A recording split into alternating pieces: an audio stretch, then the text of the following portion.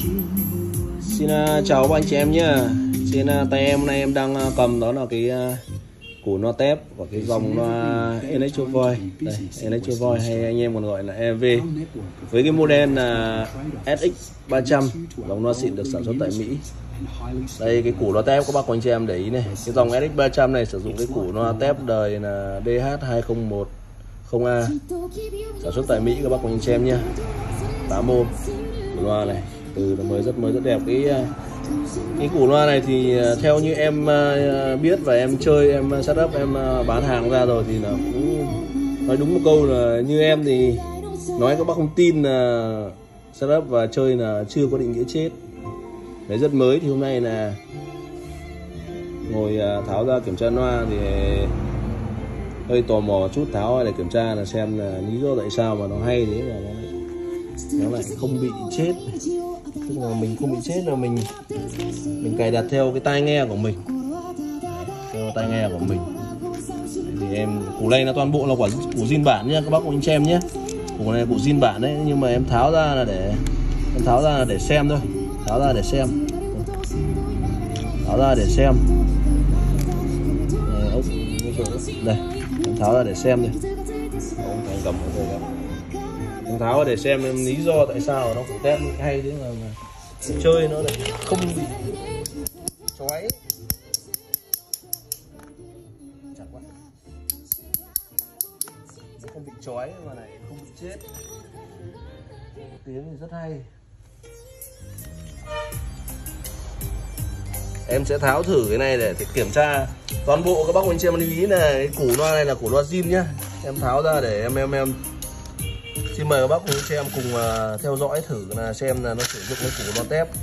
Cái côn nó như nào mà nó lại hay mà nó lại khỏe mà nó lại nó lại bền thế. Thì bán rất nhiều rồi nhưng mà cũng chưa tháo bao giờ. Cũng chưa cặp loa tép nào chết cho nên là cũng, cũng chưa biết là, là nó nó côn kiếc nó như thế nào. Đây. Đấy các bác cùng xem để ý thấy không? Đấy để thấy. Trông nó như là một cái đầu hỏa tiễn. Đấy em nhấc này đi. Đấy các bác mình xem thấy không? Dây nó zin nó đẹp này này. Cái số bên trong này là số 315 thì không hiểu là nó là cái gì. Tức là ờ, ba phẩy mười năm. ba phẩy mười năm, các bác chị em nhỉ? Đấy, rất đẹp. Đấy, cái từ đây. Từ cái từ từ mới đẹp chất thế này cơ. Cái tiếng thì rất hay. Nói thì em nói thì có khi các bác bảo không tin là thế họ thế kia là không có dòng loa là không chết nhưng mà đó là do cái người setup cài đặt. Nhưng mà em thì em bán cũng nhiều, tương đối anh em nhiều. Dùng như mà để bán thì cái cặp loa này em về là chưa có cặp loa là chưa tép. Đấy. Toàn bộ phun của tép của model loa EV Eric 300 các bác anh xem nhé. Eric 300 hàng bãi xịn được sản xuất tại Mỹ và đang có tại em Trinh Trang. Rất nhiều các bác anh xem nhé. Các bác anh xem vào xem video ờ, tham khảo về cái ờ, model loa cũng như về chất âm. Có nhu cầu thì liên hệ với em để sở hữu cái sản phẩm loa này rất nhiều.